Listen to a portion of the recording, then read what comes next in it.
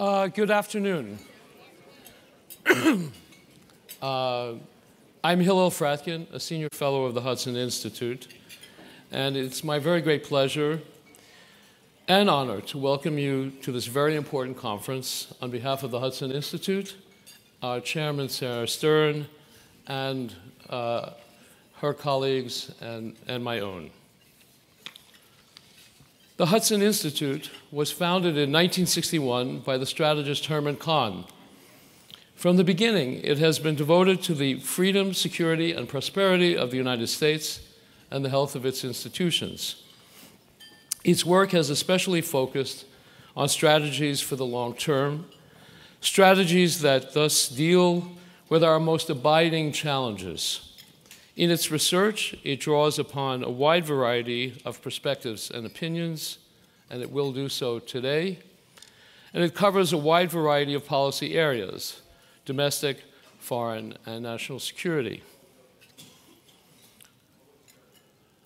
Let me, first of all, uh, in addition, thank you all for being here and participating in this conference. I said before that this conference is important. It is so for two reasons. First, its subject, and second, the personnel that will address it. Our subject is countering violent extremism, Qatar, Iran, and the Muslim Brotherhood. We will, of course, explore each of these topics, but also the overlap between them.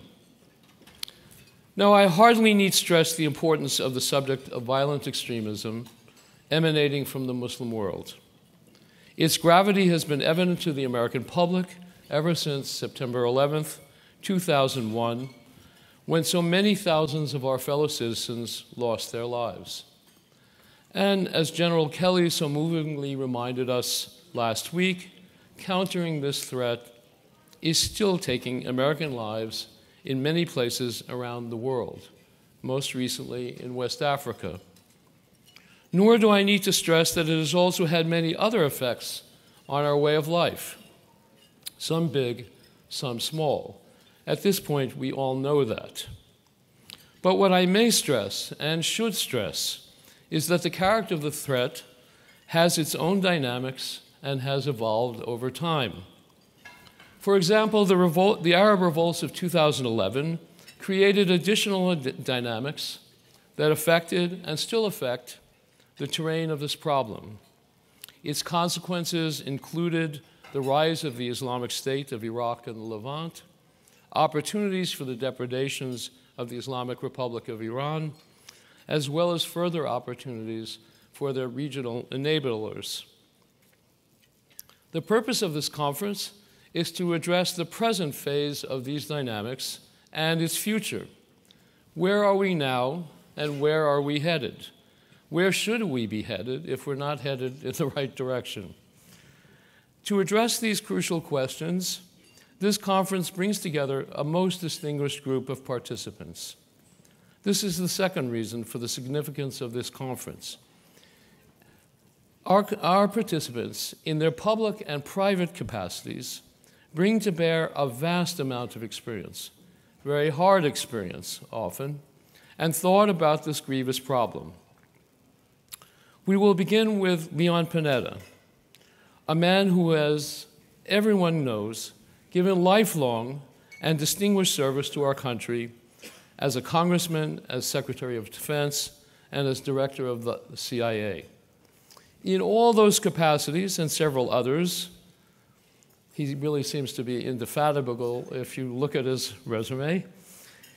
He has wrestled with the problems we are here to discuss he will deliver his thoughts in conversation with Lally Weymouth. Miss Weymouth has also had a very distinguished career and one that has also involved great public service. Miss Weymouth has been a senior editor of the Washington Post since 1986. In that capacity, she has performed the invaluable service of helping the American public understand the problem, problems we face and the officials who are tasked with that purpose, and sometimes the people who are causing the problem themselves. I think back to an interview that Miss Weymouth did of uh, Muammar Gaddafi some years ago. Please join me in welcoming Secretary Panetta and Lally Weymouth.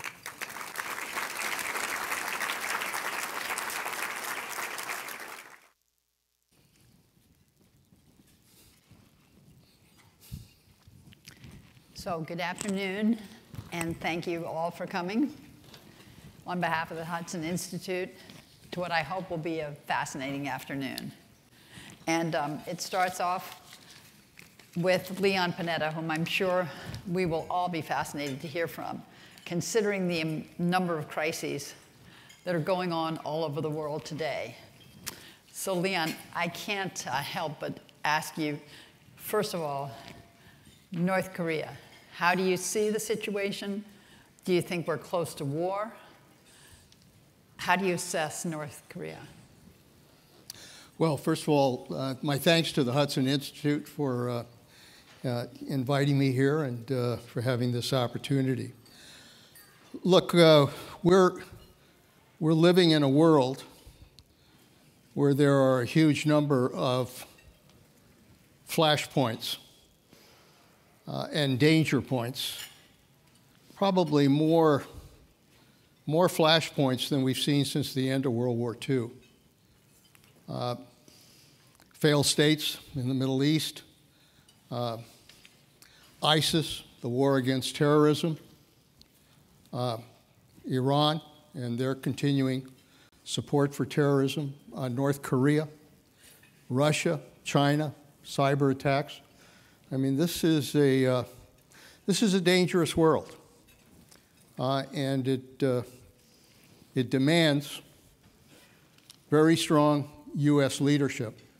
So it, it, obviously is a challenging time for, uh, for U.S. leadership because of these danger points, and we're seeing that with, uh, with North Korea.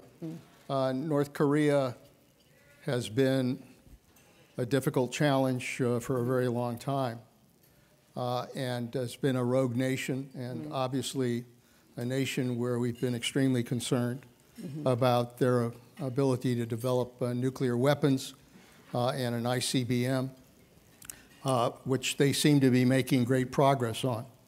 Uh, and I think, according to intelligence analysis, we're probably looking at uh, not that many months Mm-hmm. before they, in fact, develop uh, both an ICBM capability mm-hmm. and a, a, miniaturized nuclear weapon that could be placed on top of an ICBM.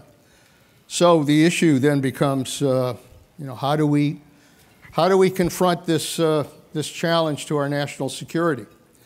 Uh, the reality is that uh, there have been military plans that have been developed over the years uh, to try to confront North Korea.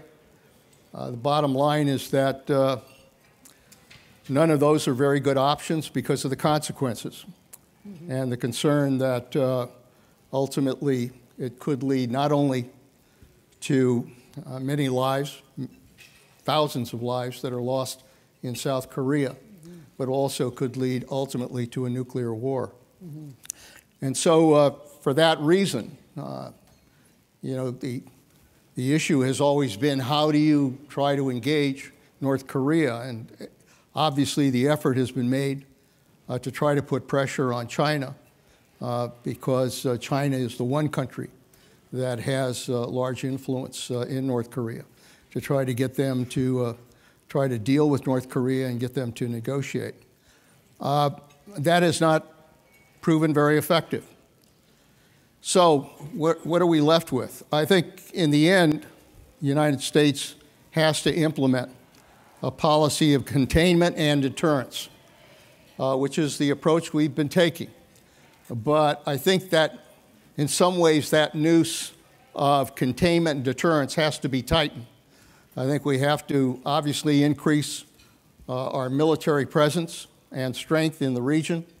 Uh, we have to increase our Navy presence. We have to continue to uh, support uh, and develop the security of uh, South Korea as well as Japan. We need to develop a missile shield, an effective missile shield uh, that can uh, bring these missiles down uh, in South Korea, in Japan, obviously in our country, in terms of the threat of ICBMs. We need to continue to toughen sanctions. And I do think that if China is willing to uh, restrict oil shipments uh, and deal with some of the other commercial areas that they deal with in North Korea, that it can have an impact uh, on the North Korean economy. So, tightening up those sanctions, and then at the same time, uh, working with our allies, working with China, try to see if we can't work towards some kind of negotiations with North Korea. This is not going to be easy, and uh, we've, we've experienced that.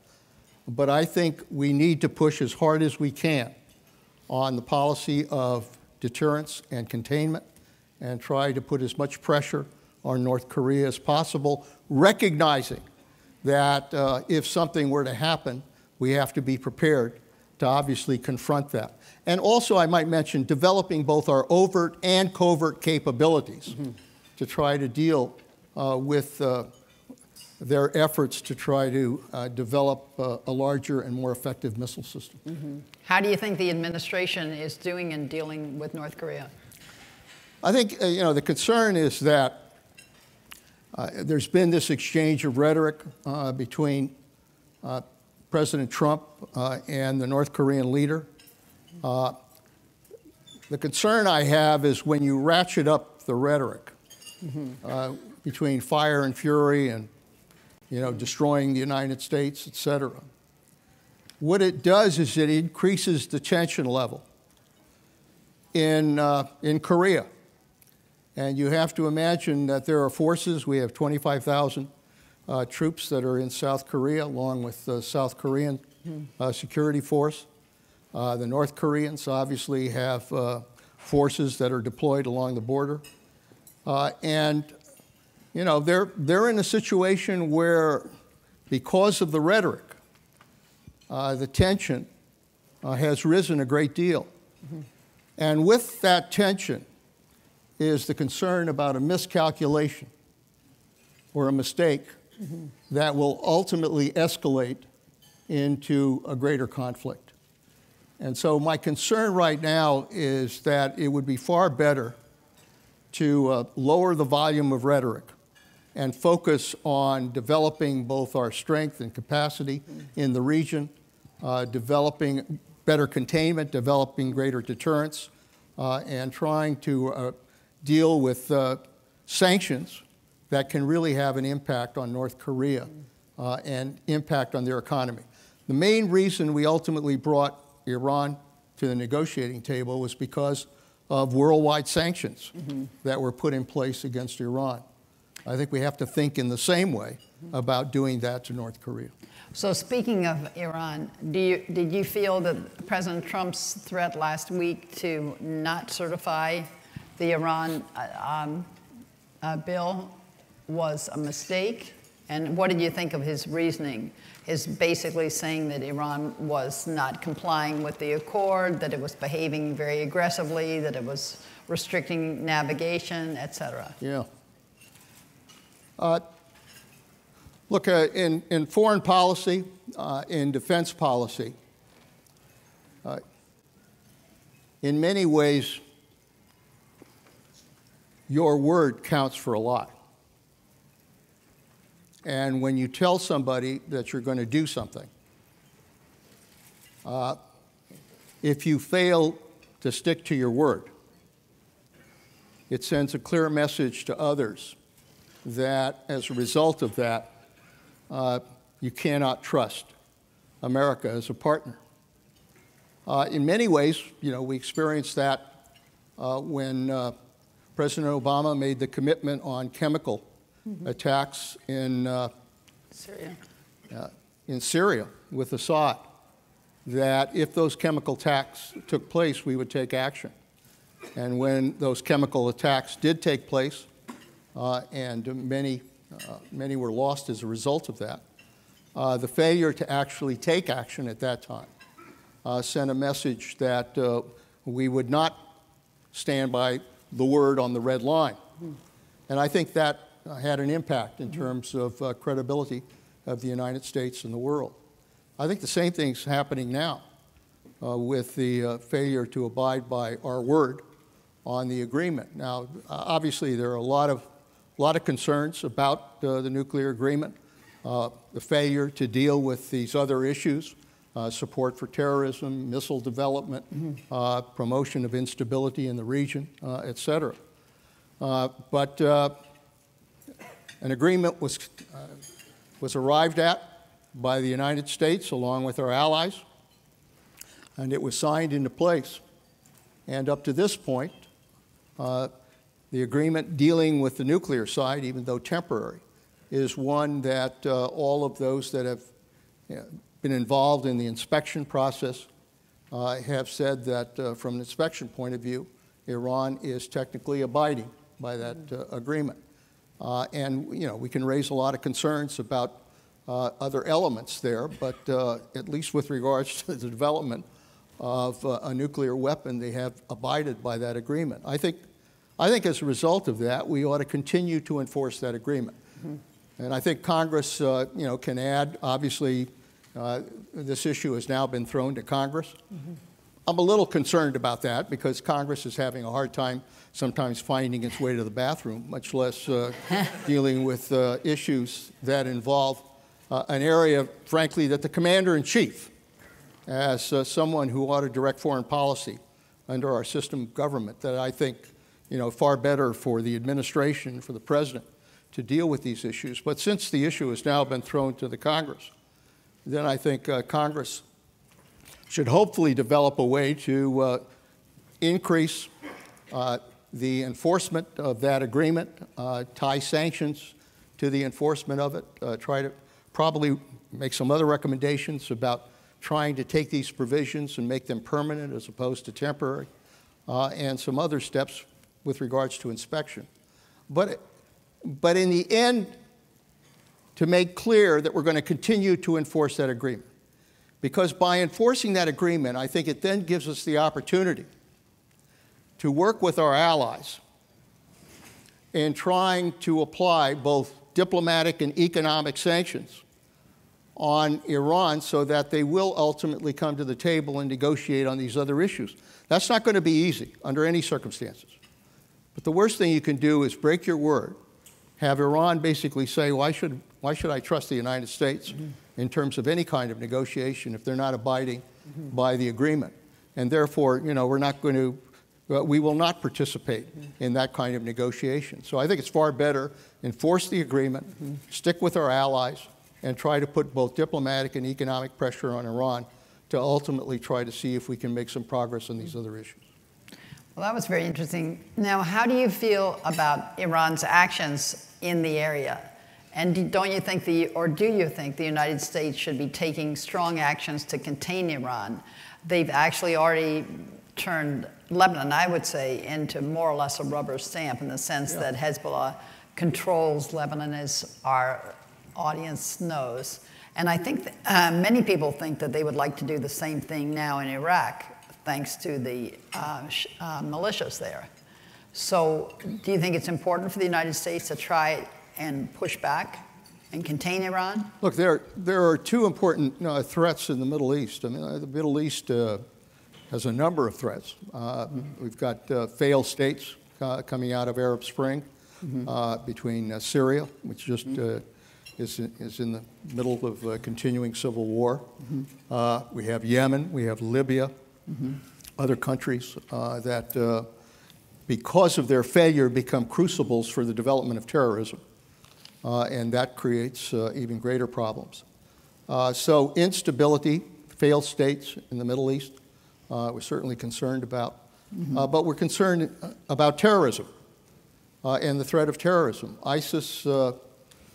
It, you know, we've, we've had some success in dealing with ISIS in the caliphate uh, moving them out of Mosul, uh, moving them out of the areas uh, in Iraq that they had conquered, as well as Raqqa now.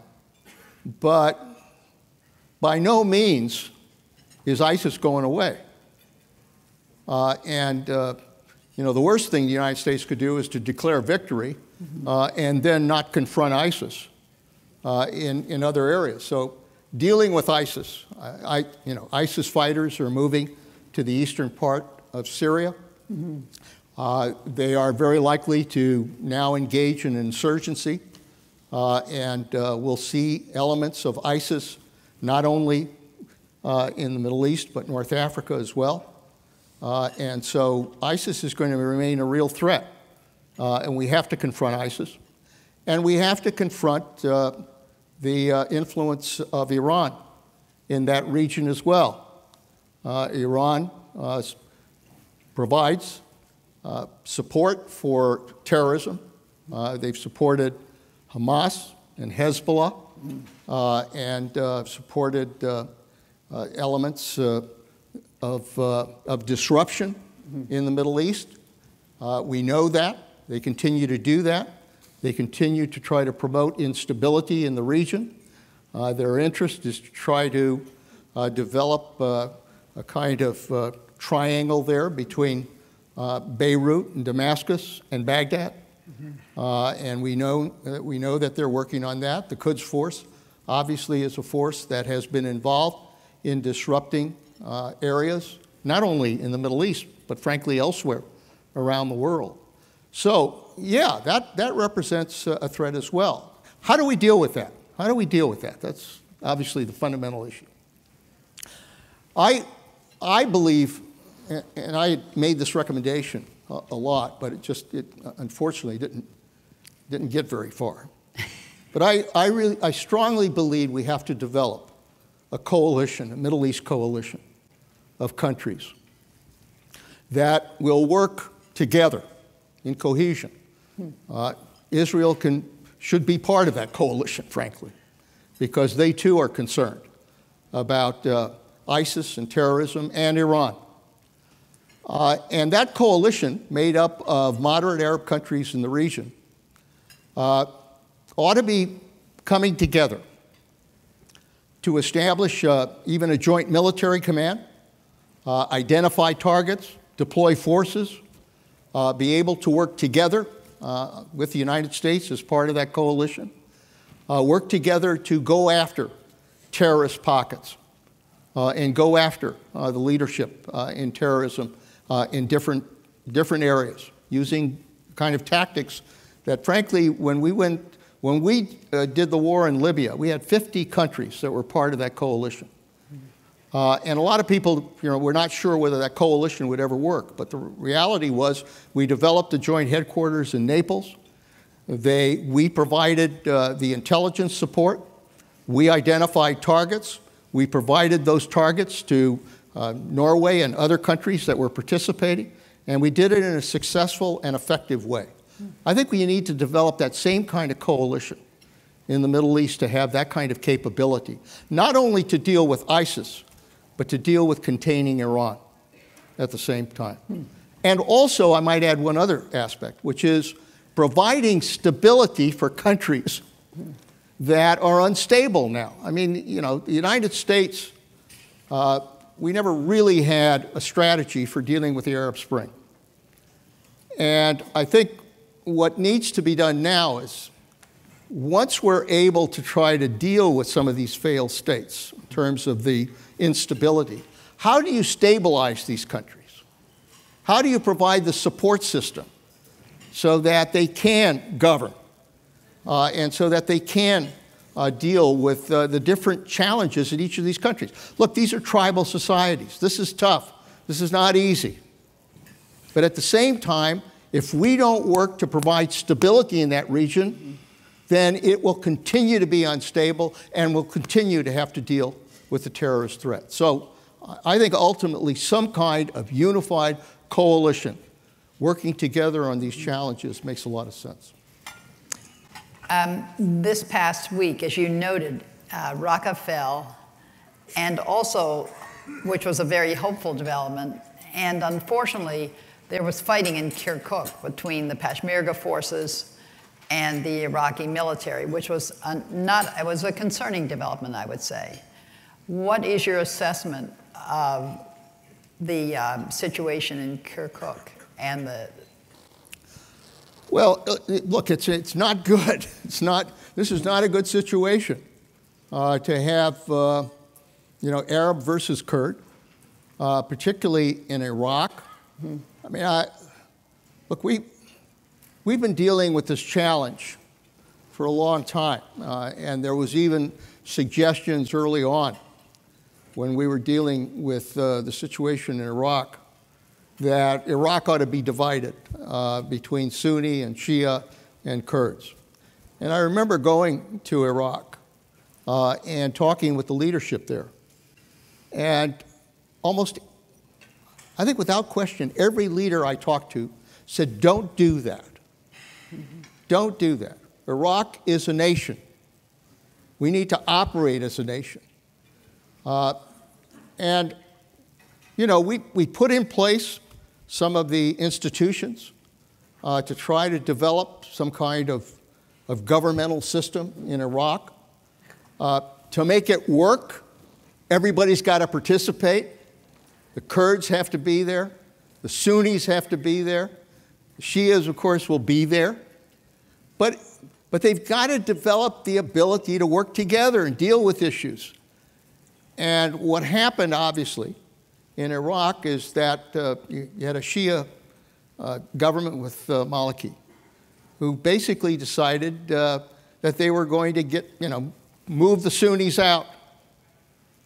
And so they moved the Sunnis out of government, they moved the Sunnis out of the military, and before you knew it, it became, frankly, the ingredients that led to, to the development of ISIS. Uh, unless they develop the ability to bring the different factions in Iraq together so that they can govern together. I mean, this is a country that's got tremendous resources, for God's sakes. It's not a country that has to worry about, you know, how are we going to be able to fund uh, economic development. They can do it. But they've got to work together at it. And I think, you know, if, if Sunnis uh, or if Sunnis fight Shias, and if Shias fight Kurds, and, and they continue to have this kind of disruption, then Iraq will never be able to uh, achieve stability. Now, I was pleased that uh, Secretary Tillerson uh, was in Saudi Arabia and promoting greater Saudi uh, Iraq relationships uh, to try to bolster uh, Iraq, try to limit Iranian influence uh, in uh, Iraq. I think that's a good step.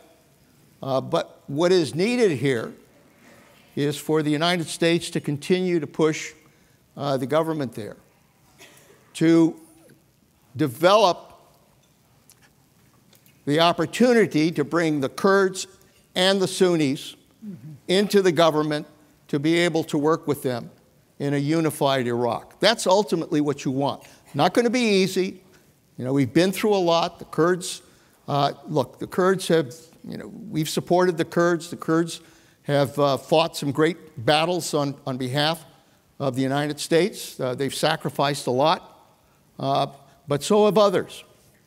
And the time has come now where they have to make a fundamental decision. Do they want to be part of a country like Iraq, or are they going to continue to kind of try to go off on their own? Uh, this is not, you know, this, this is going to be a challenge, but I, I worry that if the Iraqis keep going after uh, the Kurds, that we'll have another civil war on our hands and, in that region, and we sure as hell don't need that. And isn't Iran I, I, read reports that General Soleimani of Iran was in Kirkuk last week. So it looks like we've left the Kurds at the hands or in the hands of the Iranians. Should the U.S. be more active in resolving no, this I dispute? I, look, there's no question. we, we left Iraq, and it created a vacuum uh-huh. that, uh, in which uh, Iran and Others uh, took advantage of it. Uh, we can't afford to do that. Uh, we have troops there. We've helped develop their security forces. We developed a very effective security force that went after Mosul, went after the other territories that were conquered by ISIS. Uh, I think the United States needs to remain there mm-hmm. and to continue to put pressure on the government to try to resolve these other issues. Otherwise, if, if we're not there, make no mistake about it, Iran will be there.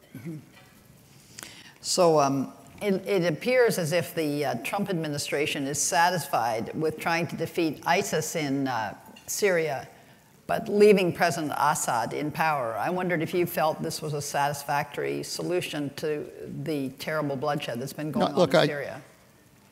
I think that Assad remaining in power in Syria is a prescription for continuing civil war and instability in Syria.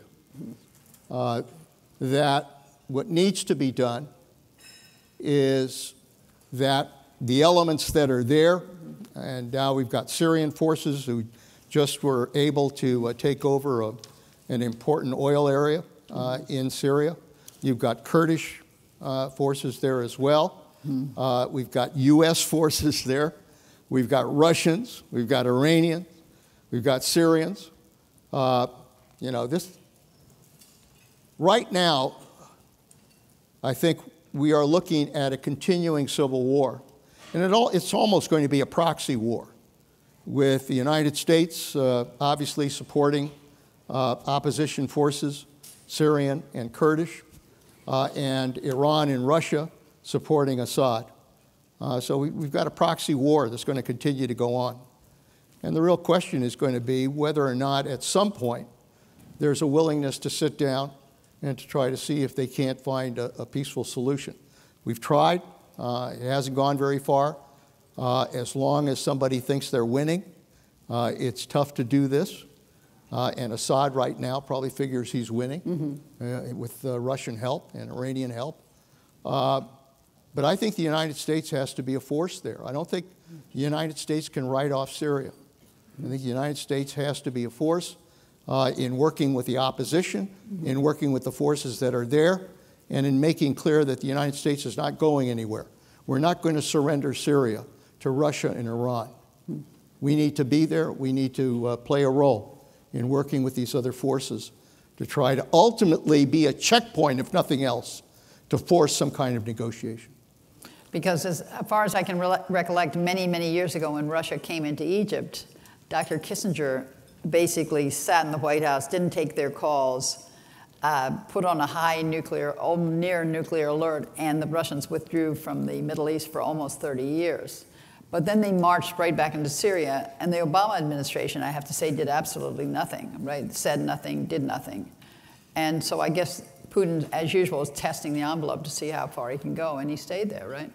How, well, how influential do you think Russia is and how, how in, in the Middle East right now?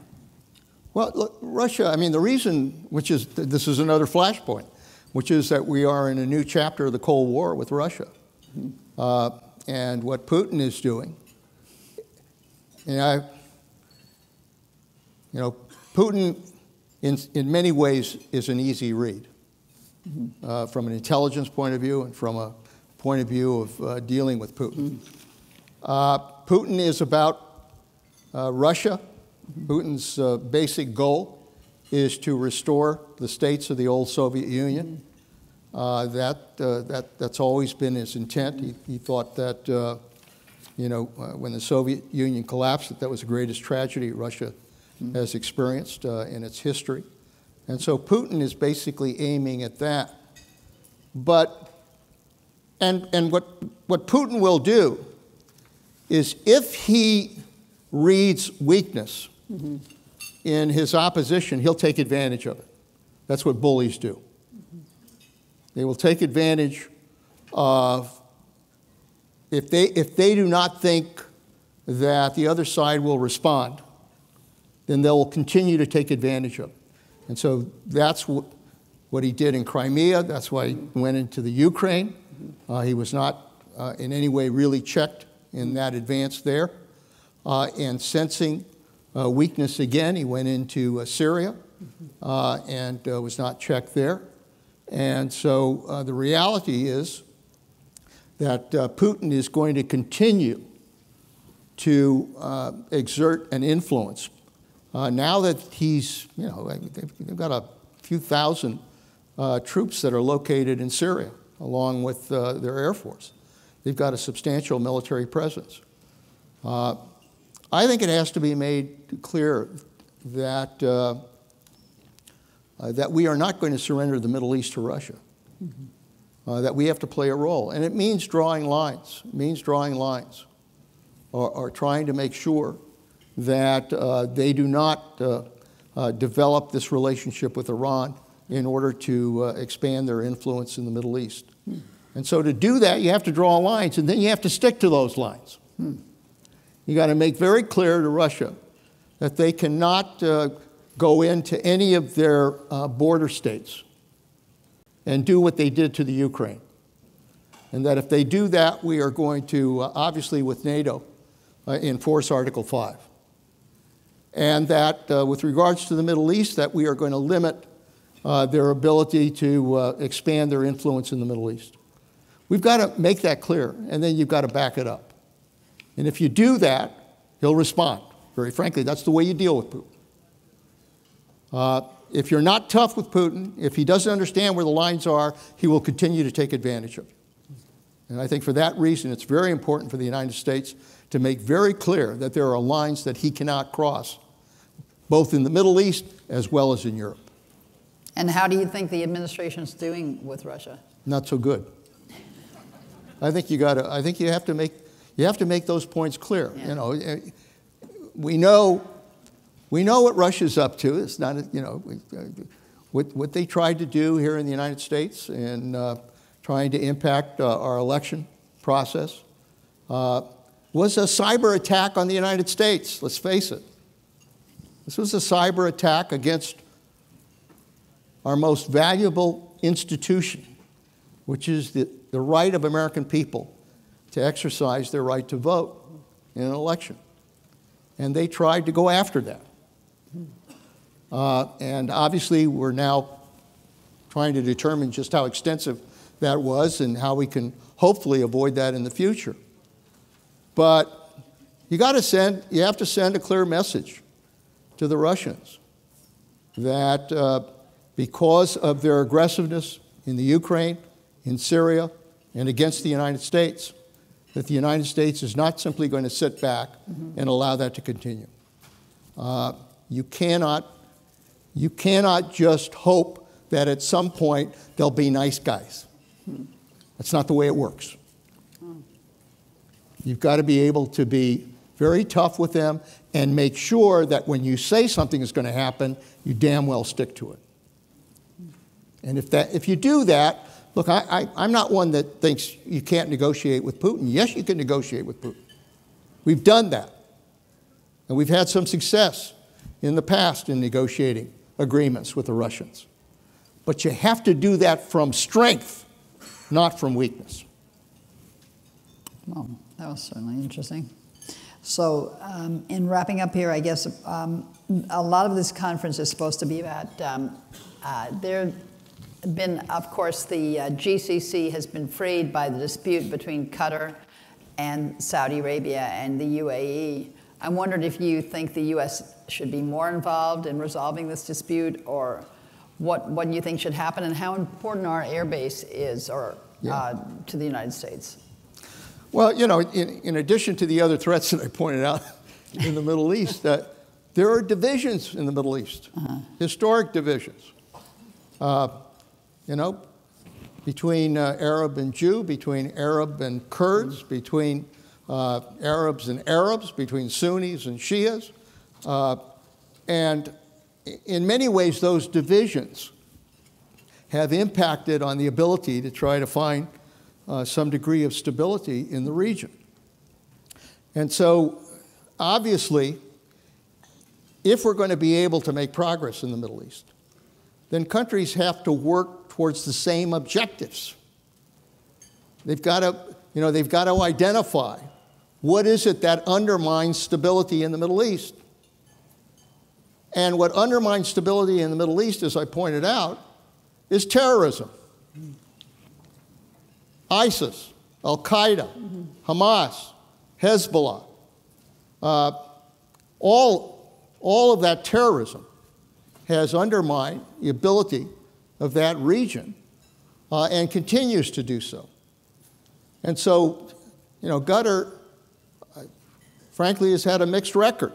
We, we know they've provided uh, support, uh, financial support uh, for the Muslim Brotherhood, for terrorism, for Hamas,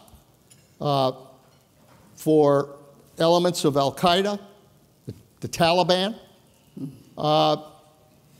and the problem is they can't have it both ways. Mm-hmm. Uh, if you're in that region, you have some common enemies.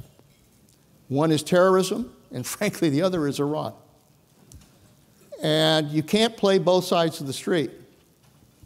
And I, th- I think it's extremely important. Look, I, I, think Qatar has now said that they want to abide by uh, international requirements uh, with regards to financing of terrorism. They've passed laws to try to implement uh, requirements against uh, financing of terrorism. Uh, they say that they want to do the right thing. I think the issue is now to make sure that what they say is what they do. And that means making sure that they are enforcing efforts to limit their support. Uh, yeah, you know, we, we have a defense agreement uh, with, uh, with Qatar. We have, an air, we have a base there, a pretty significant base, mm-hmm. uh, involved in, in the wars in the, in the Middle East. Uh, they have been facilitators uh, when we've dealt uh, not only with uh, Iran, but with the Taliban. So, yeah, there, there, you know, there has been some, some efforts to try to uh, work together. But you can't do this unless we know where you are. And in that world, you've got to be committed against terrorism. And you've got to make clear that you oppose uh, ISIS and other elements of terrorism, and that you're going to work with other countries in the region to make sure that uh, terrorism is not supported. Uh, and that, you know, that ultimately is the way to try to ultimately reach some kind of solution. I know that uh, United States, Secretary Tillerson are working on that. I know that Kuwait has hmm. provided some assistance to try to bring those parties together. But I think you really need to have a commitment by Qatar that they are, in fact, going to abide by what they say they're doing. In wrapping up, uh, I, I can't resist asking you you've been around this town for a long time, you have a lot of experience. Yeah. And uh, as, as, those as, people as said. witness from the yeah, people in as the they audience. said, we're, we're members of the, the establishment.